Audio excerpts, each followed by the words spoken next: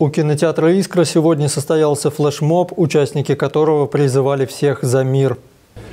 Порядка сотни видновчан разного возраста и рода деятельности собрались на площади у кинотеатра. Студенты и школьники, спортсмены, депутаты, представители общественности. Наш флешмоб мы сегодня посвящаем миру.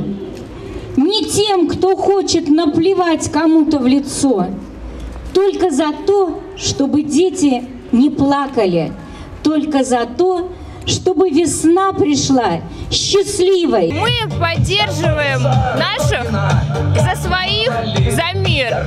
Этот флешмоб в поддержку наших э, ребят. Потому что мы за мир, мы поддерживаем нашего президента и его решения. И мы однозначно все против войны но за справедливость.